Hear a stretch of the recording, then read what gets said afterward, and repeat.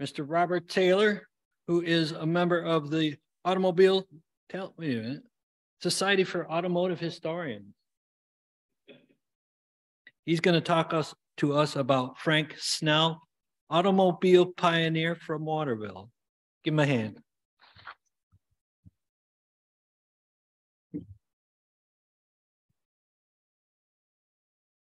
Thank you, everyone.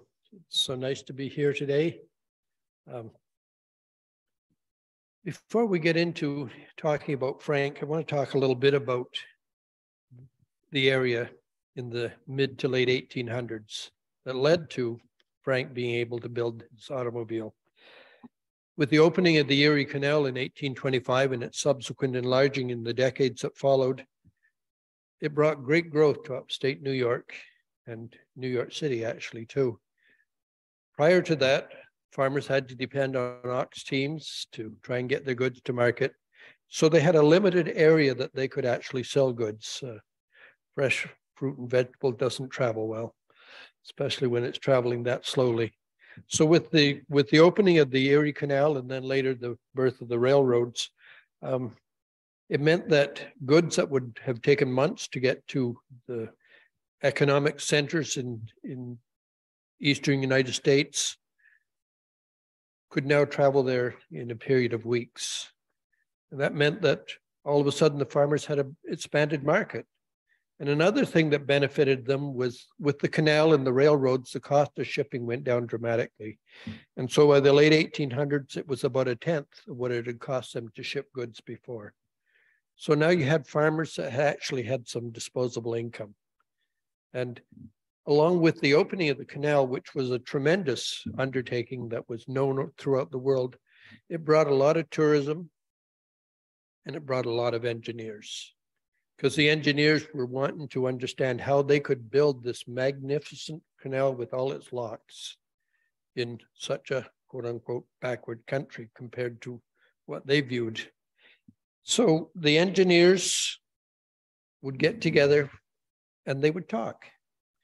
And they would talk about the Erie Canal, but they would also talk about what was going on in Europe and England and, and the British Empire. And one of the things that was very hot in, in those areas was the horseless carriage or the automobile. So I'm sure that Frank Snell was involved in many of those conversations. Um, he probably didn't dream, though, that his activity would have such an impact on the world that we live in. So, we're going to give you a little background on Frank Snell.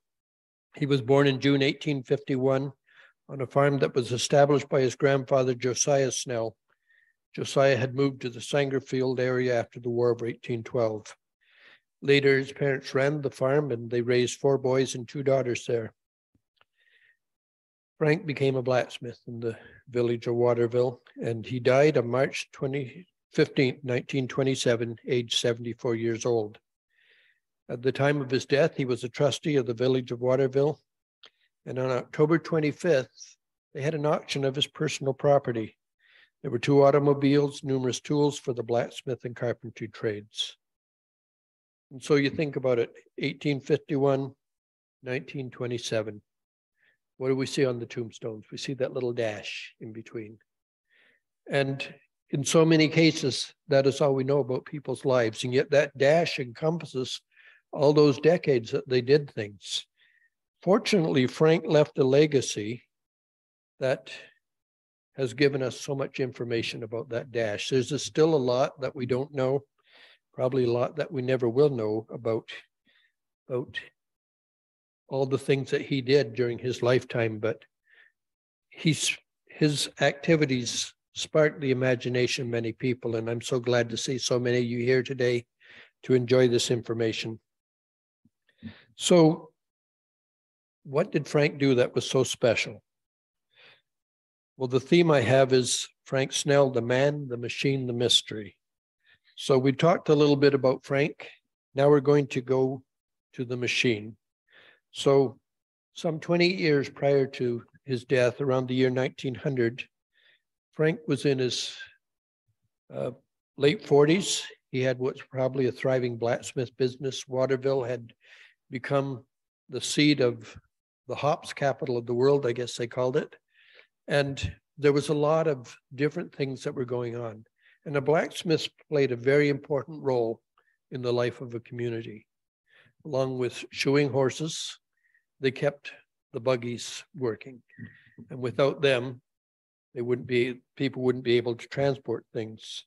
So at the same time, in the late 1800s, there were a couple of magazines that came out that were focusing on a new method of locomotion.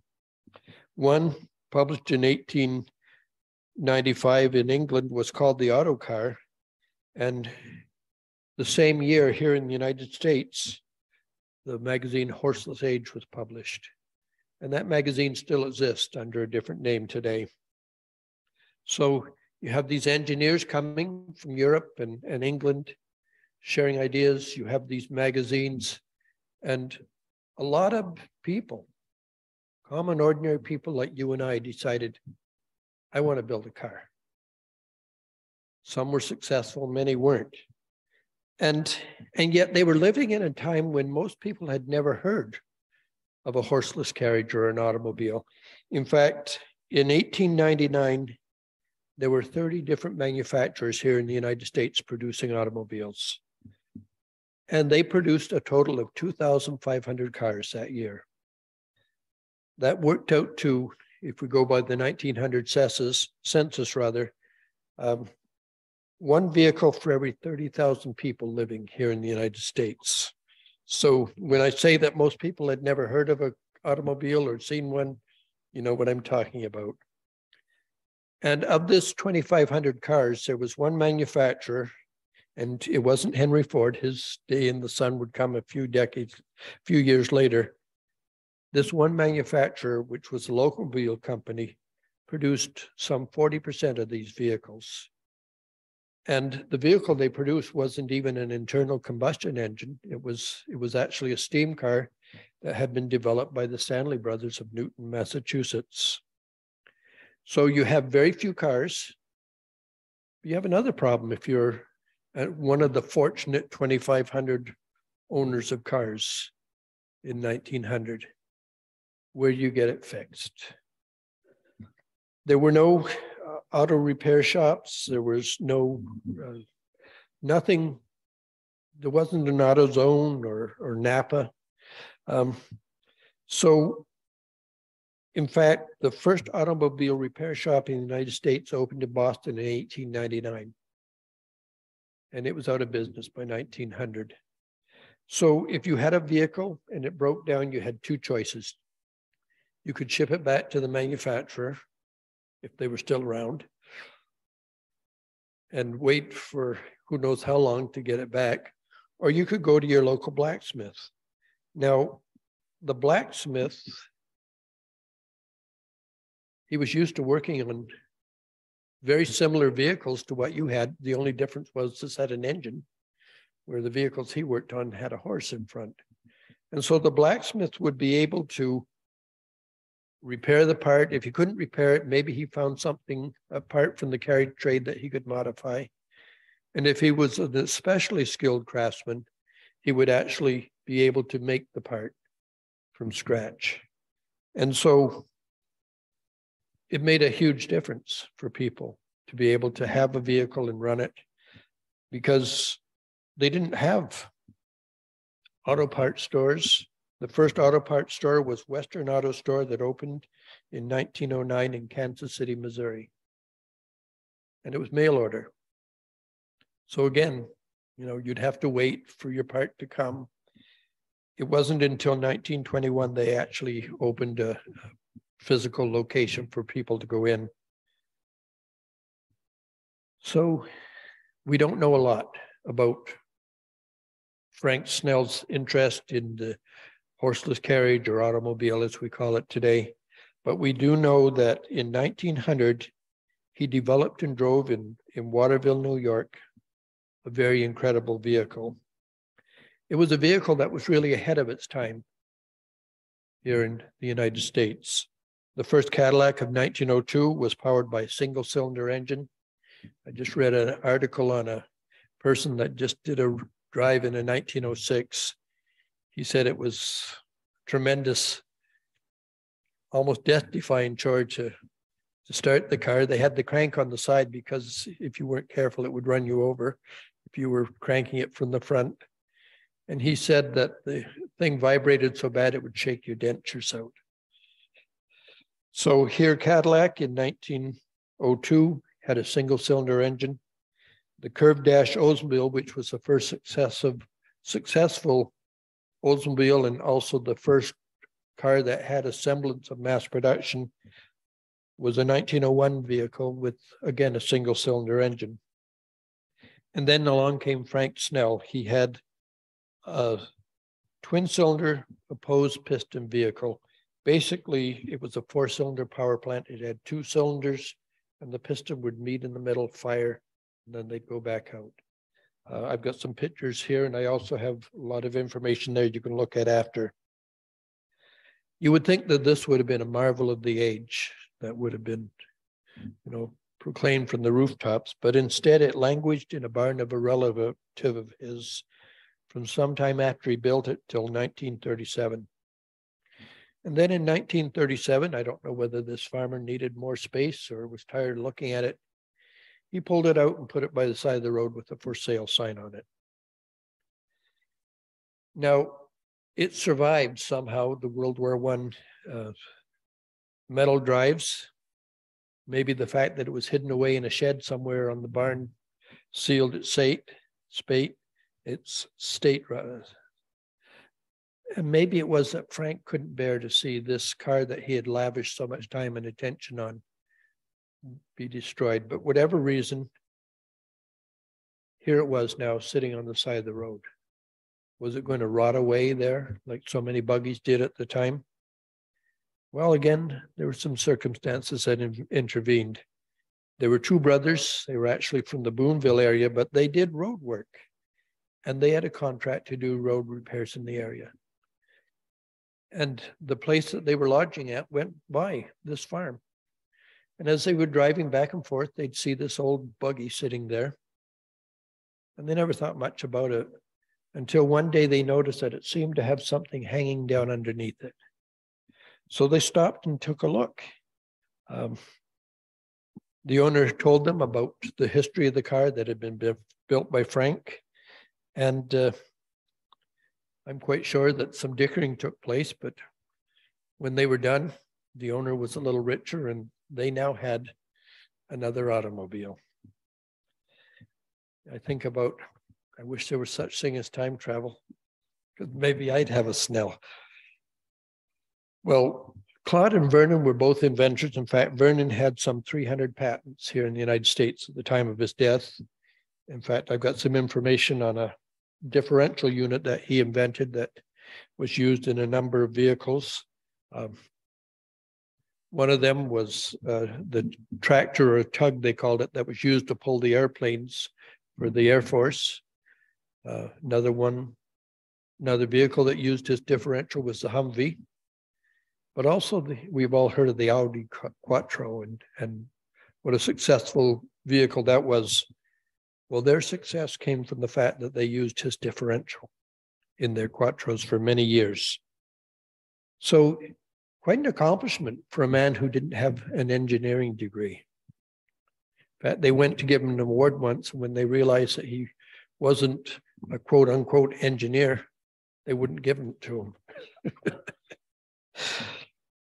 so I think that Vernon and Frank would have really got along well together had they known each other. They Neither one was an engineer, but they both had a genius that allowed them to accomplish things that others might have thought impossible and wouldn't even given a chance to try. Um, not only was the Snell preserved, but it was returned to Waterville in 1971 for their centennial celebration. And Vernon also did a lot of research on the vehicle. And the fact that I'm here today talking to you is partly because of all the research that he did. He did this research not only here in the United States, but also in Europe. And he came to realize something. He came to realize that this vehicle that Frank Snell had created owed its existence to not just Frank Genius, but also to other gifted men. And that brings us to the mystery part of our discussion today. So we know Frank was a real person. He built an automobile that was reported on with pictures in the Waterville Times of November 9th, 1900. And I don't know if I've got a picture of that. Let me see. No. Okay, try this. No, I don't. So, but we will.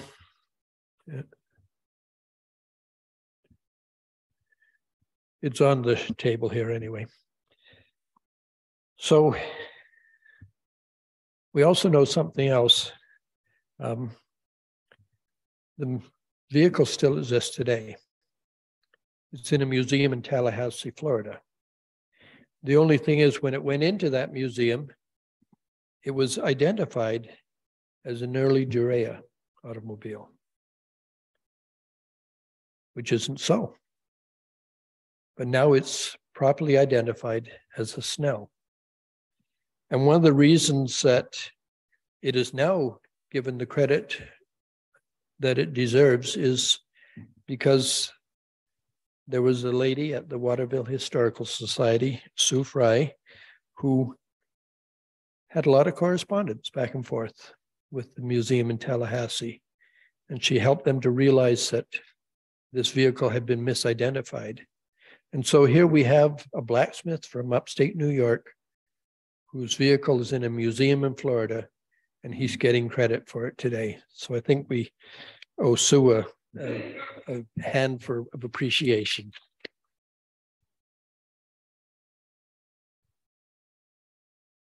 When he was building this car, there were a lot of young people that, of course, you can imagine what it must have been like for kids to see somebody building a car back in late 1800s, around 1900. There was a lot of young people that were interested. And they really believed that he built the whole car. That isn't true. But that doesn't take away from his genius because he worked out of a little garage, which still exists in Waterville. And there's no way he would have had the facilities to make all the complicated parts that went into the building of this automobile. Today, even with many com- components readily available, the cost of, of designing and developing an internal, internal combustion engine for manufacture can run into millions of dollars. And I don't think blacksmiths got paid that much back in 1900. So in Frank's case, he would have had to make all these different components in house, making the cost of his engine prohibitive for even the most experienced craftsman. So he would have to assemble it from a variety of components that he obtained. But this doesn't take away from the accomplishment that he did. Far from it, even today, automobiles are assembled from components acquired from various manufacturers. And this was even more so in the early days of the automobile. So you decide, I'm going to start building cars. So you'd get a transmission from one place, an engine from somebody else, steering gear someplace, differential, wheels, tires. Um, there's a nice display here on the Willoughby Custom Body Works. They built bodies for various manufacturers. Lincoln was one of the prominent ones. And you would get a body from, from a company like that. A lot of these manufacturers used to build buggies. And so it was a logical step that they would start building bodies for automobiles. In fact, there was one of, uh, there were a few automobiles that were built right here in Utica, one of the which was the Remington, which was built between 1901 and 1904 here. They purchased their bodies from the Willoughby, Willoughby Owen and Company and wheels and axle from Weston-Mott. And think about Henry Ford. We all are familiar with what he was able to do with his Model T. That was actually the third company that he established. One of the companies that he established that he left later became Cadillac. So he was instrumental in founding probably one of the cheapest, least expensive vehicles available here in the States to one of the most expensive vehicles available here in the States. Well, he assembled a team of engineers, machinists, and draftsmen to design his automobiles. And he was very successful. He built some 17 million of the Model T Ford. And even that Model T Ford, the engine, transmission, and differential were for many years built for him in the machine shop of John and Horace Dodge. They got into a disagreement with Ford about uh, dividend payments. Henry bought their shares out, moved all his construction of all major components in house. And the Dodge brothers used the money that they'd made from Henry to start Dodge Brothers, company that we still have today. So, and even when Henry was building the Model T almost entirely in house, he was still getting his tires from Firestone. So, where did Frank Snell, a blacksmith in a small town in upstate New York, get the components to build his automobile. For over a century, that's been a mystery, but it seems that maybe this mystery is on the verge of being solved. I say it's on the verge because it seems that we almost know for certainty where the main parts of the vehicle came from.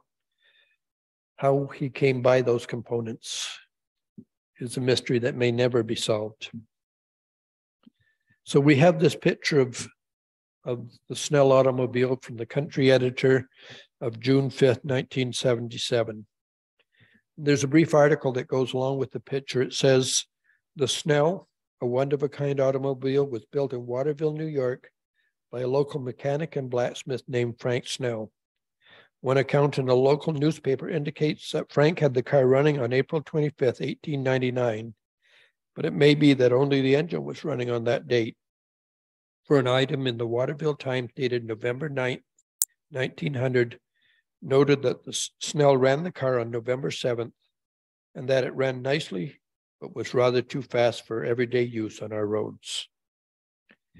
The article goes on to say the Snell is powered by a four cylinder opposed piston engine of very unconventional design. Cylinders are encased in a box shaped water jacket made of heavy sheet copper and the exposed two-throw crankshaft is located beneath the cylinders. The car is co-owned by Claude and Vern Gleasman and is at Claude's home in West Leyden, New York. The end of the article.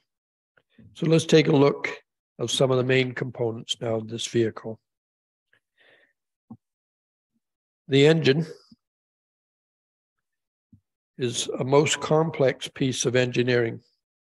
It consists of two horizontal cylinders that, as I get said, it, the pistons meet in the center of the cylinder. So there wasn't a cylinder head and a spark would fire and, and cause the cylinders, the piston to go back out. And through a toggle mechanism, they would uh, turn the crankshaft. And so if we look at this next slide, we see uh, chief moving parts of a two cylinder horizontally um, uh, opposed piston engine rather. And so you look at all those components that would have to be made. It was a complicated process. If you could find a foundry capable of reproducing this engine today, it would cost you an awful lot of money. Certainly not the kind of money that, as we said, Frank had access to. It also had so many other components that all had to work in harmony. Um, had an ignition system. Um, it was a make and break system where the points, one point was fixed, the other would move, and when it moved, it made a spark, which fired off the fired off the fuel. It had a two-speed planetary transmission, differential, final chain drive, muffler, uh, early rudimentary radiator.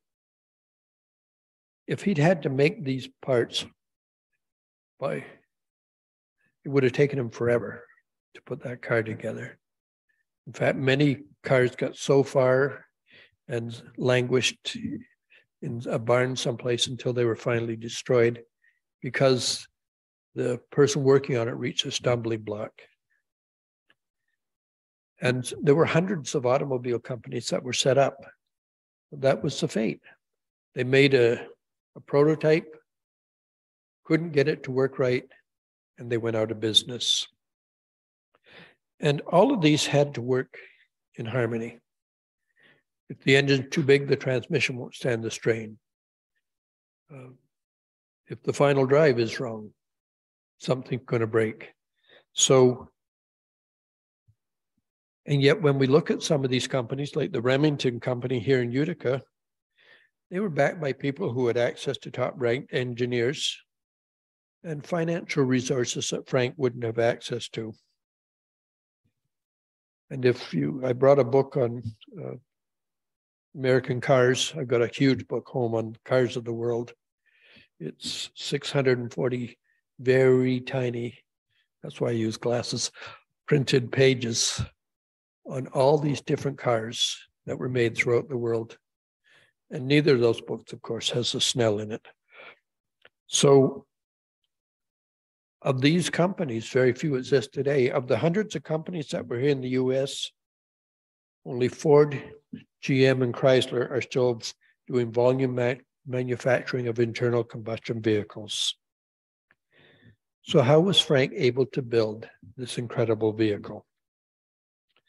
Well, we probably never know for sure, but it may be that he was able to obtain an early automobile that was so badly damaged that even with his skills and craftsmanship, he wasn't able to rebuild it. And it seems that this must have happened, and thus it became the donor of the components that went into his vehicle. And it's interesting. Uh, Vern, Vernon Gleasman's looked high and low to try and find where this vehicle came from. Um, he took the vehicle to the Crawford Auto and Aviation Museum in Cleveland, Ohio, and had it evaluated by the engineers there. And one thing they agreed on, it was not a home built vehicle. It was built by a company, most likely English. And so he started looking in Europe to find companies that made an engine that fit the description of the engine in the Snell. Um, he thought he found it. In fact, uh, in the analysis of this of this car, it talks about an engine that was made in France called the Edelman. The only trouble with that is that engine wasn't built until after Frank built the Snell. Well, I've been spending a little bit too much time visiting doctors in Cooperstown. And one of the treats that Lori and I have is we'll go to thrift stores and check things out. And when I was there, I found the book, the one that's open there. And Lori, being a very patient woman, allowed me to buy it. I have probably 5,000 different articles, books, magazines, pictures of vehicles, but I keep them in my loft area so she doesn't mind too much. Well, when I'm looking through this book, I found a picture of a vehicle called the Arrol-Johnston dog cart. And this is it right here. And the description said it used a twin cylinder opposed piston engine. So I did some research and managed to find some other articles. And lo and behold, it almost completely matches the engine in Frank Snell's car. The only thing is, according to the books, and we know that the books can be wrong on dates, um, their first twin cylinder dog cart wasn't built till 1900. And here Frank is in late 1900 using that engine in his vehicle. So there may be a discrepancy. We don't know how he got the engine. I would, I'm still researching, hoping to find out. Um, but anyway, these, this picture I showed earlier of the various components, that is the components, some of the components of the Arrol-Johnston dog cart engine. And here's a, a small view of that engine. And and actually this next picture is kind of neat because it shows how these engines would work. See how the pistons are meeting in the middle and they use linkages to connect to the crankshaft to change that back and forth motion to rotary motion. There were a number of these opposed piston engines that were built in the early 1900s. And actually, they're still being used today to power tanks, large ships, and things like this. They actually used them in airplanes in the mid 1900s. But uh, they never really did catch on as an engine for most automobile manufacturers because there's a lot more complexity to them. Um, the Go, Go, I'm not sure I'm pronouncing this right, Goubon Brulé automobile in France actually used one from the late 1800s to 1922. But their engine was different in that two of the pistons were hooked to the crankshaft, and the top two pistons, they had long arms that went up and across, and it was a very complicated setup. So, but this company that built the Arrol-Johnston, they were originally in the locomotive trade. So not only did they have the access to the technology to build such an advanced vehicle, but because of their involvement in the locomotive trade, they had the ability to manufacture it. Their first engines were single cylinder, two piston. And then, as I said, around 1900, they went to a twin cylinder uh, power plant.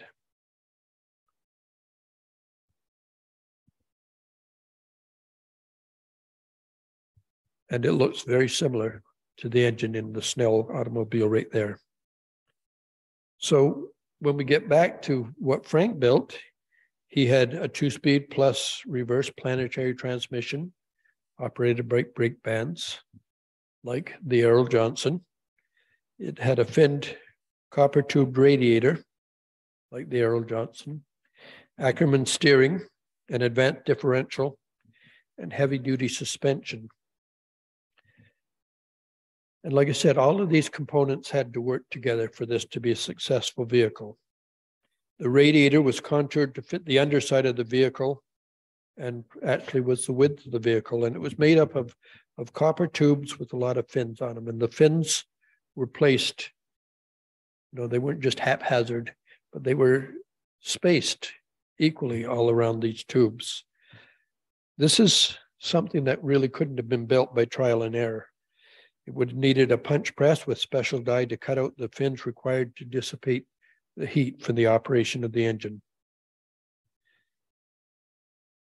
The radiator had to be big enough to efficiently cool the engine, but if it cooled it too much, the engine wouldn't run. If it didn't cool it enough, the engine would get hot and seize up, which happened with many early engines. And then you get to the transmission again it had to be the right size. If it was too heavy, it wouldn't have been practical. If it was too light, it wouldn't have stood up. And he made a car that was capable of a tremendous turn of speed. It was so fast that it was unsafe on the roads at the time, especially with the tires that they, he had, solid rubber tires. So he made an engine governor. And the governor he used was a flyball governor from a steam engine.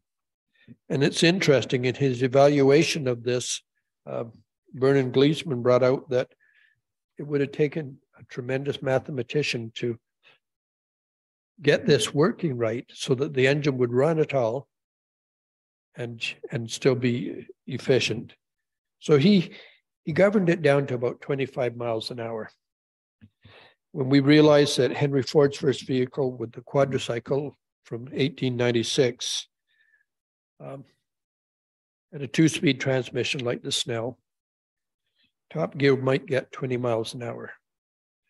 So you take a man with who was in engineering with engineer friends, and then you take Frank Snell, and and so you can see just how amazing an accomplishment his Frank's vehicle was.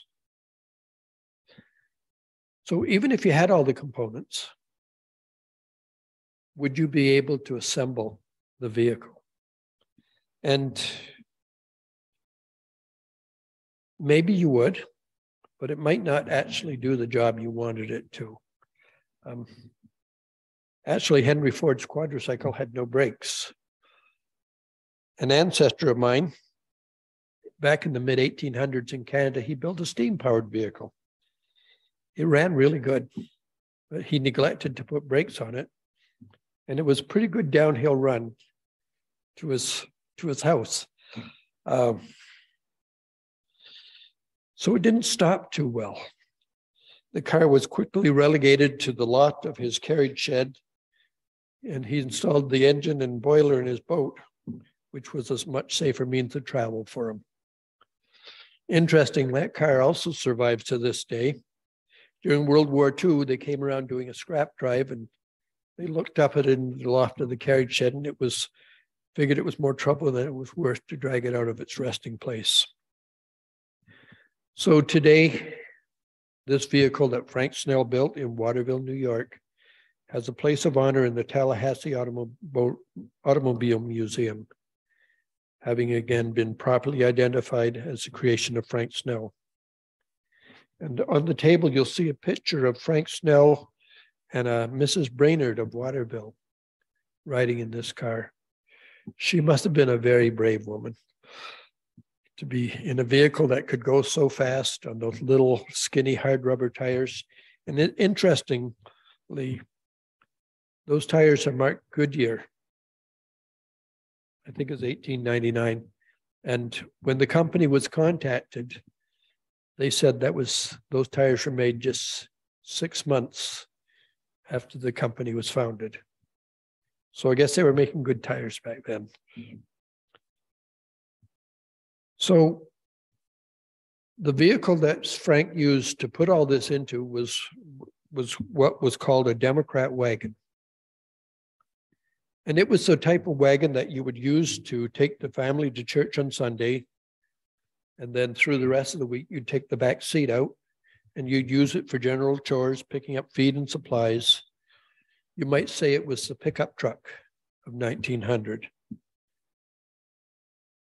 And so here, Frank, we don't know why he didn't use the tires that would have come with with the Arrol-Johnston dog cart if that was what he actually used. But there was some reason why those weren't available. So here you have this vehicle running on these big hard rubber tires, probably quite similar to the penny farthing bicycle there in the background. I would imagine that 25 miles an hour in that vehicle on the roads of the time must have felt like flying. I know the horses didn't like it, so that Mrs. Brainerd must have been a very brave woman to even get in the vehicle with him. But I do know that Frank would have been pleased to know that the vehicle that he built over 120 years ago still exists and is generating interest both in his hometown, but also in other parts of the US. I could go into great detail on other technical aspects of the vehicle, but I think I've talked enough already. But Lori and I would like to thank you for your kindness in, in joining us today and hope that you've enjoyed this presentation. Um, if you have any questions, I'll try and answer them.